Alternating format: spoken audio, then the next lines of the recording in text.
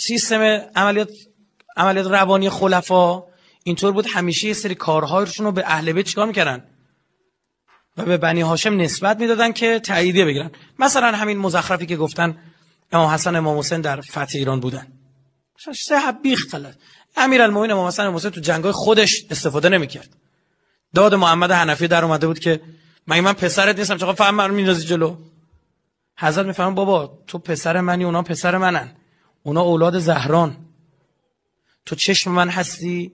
آنها چشمان من هستن حسن و تو دست من دست از چشمان محافظت می‌کنن. خواست بفهمونه بهشون که اینا نسل پیغمبر اینا. بعد اومده برای کشورگشایی های خلیفه دوم استفاده کرده. اینا رو امثال تبری اونجا چیزا ساختن که سندیت هم نداره یعنی هیچ که اگه می‌تونستن خدا شدن تمام تلویزیوناشون این شبکه وهابی گرفته بود. میترسن. چون می‌دونن هستن کسایی که سر در میارن این رو هوا جعلی این هستن. بعد یه جوون سادلو هم پیدا می‌کنن که اونها هم نادونن. که آقا امام حسن مسلم ما ایرانی ها رو کشتن بعد شما دارید اینجوری می‌کنه